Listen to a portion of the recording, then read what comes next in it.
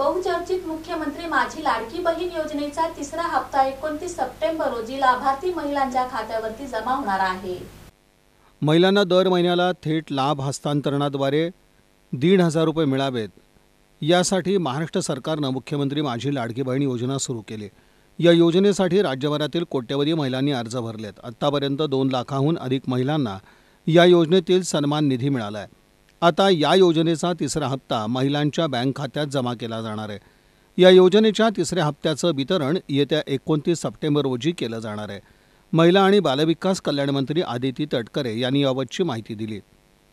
अर्थात एकोणतीस सप्टेंबर रोजी पात्र महिलांच्या खात्यावर लाडकी बहीण योजनेचे पंधराशे रुपये जमा होतील. दरम्यान ज्या महिलांनी लाडकी बहीण योजनेसाठीचा अर्ज अद्याप भरलेला नाही त्या महिला अजूनही या योजनेसाठी अर्ज करून योजनेचा लाभ घेऊ शकतात.